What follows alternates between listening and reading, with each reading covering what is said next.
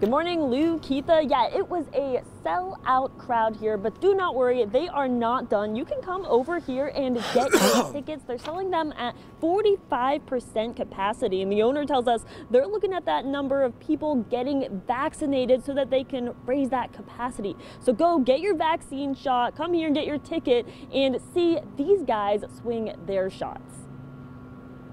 Home run!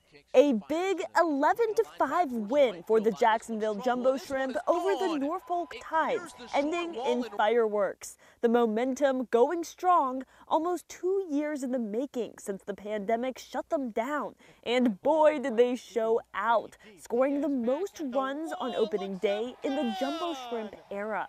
Even at 45% capacity with masks and blocked off seats, the sights, sounds, and feel of the park is back. It's the energy, man. I mean, all around you, people are smiling.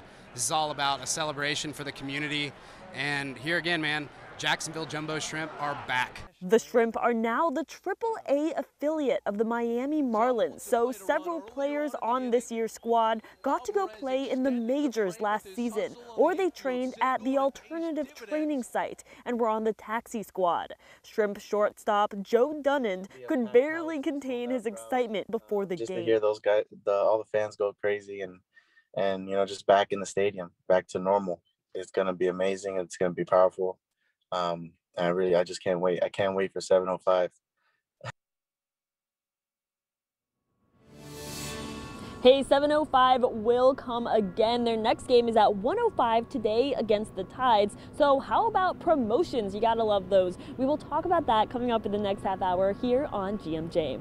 I'm Renata Di Gregorio, live at 121 Financial Ballpark. First Coast News on your side. Thanks.